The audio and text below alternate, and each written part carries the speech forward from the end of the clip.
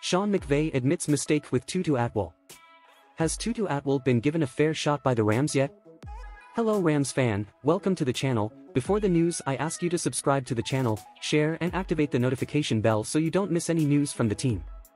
The most controversial draft pick of the Sean McVay era is probably Tutu Atwell, a title that he probably does not deserve given that as a former late second round pick, there shouldn't be that much pressure to excel.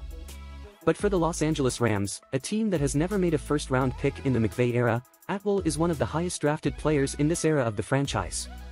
On most teams, Atwell could hang in the shadows a little bit while he develops. For the Rams, he became the number one prospect and many fans voiced displeasure over his size and the fact that he is not Creed Humphrey or another offensive lineman. Atwell has handled himself admirably in the year and a half since he was drafted, especially given that McVay wasn't giving him many opportunities to start proving himself to the fans. I have always tried to preach patience to fans about Atwell because if he pans out, there's no doubt he would become a fan favorite.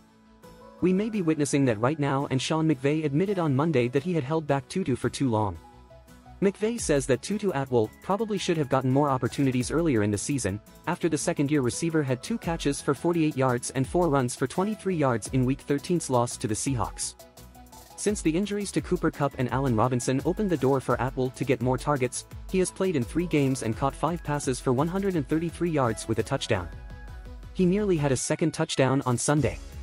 After not getting any targets during his injury-shortened rookie season, Atwell had five on Sunday, almost doubling his career total.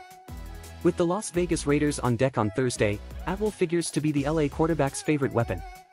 We just don't know who that quarterback will be yet. John Wolford started on Sunday but was banged up and could end up sitting out on a short week.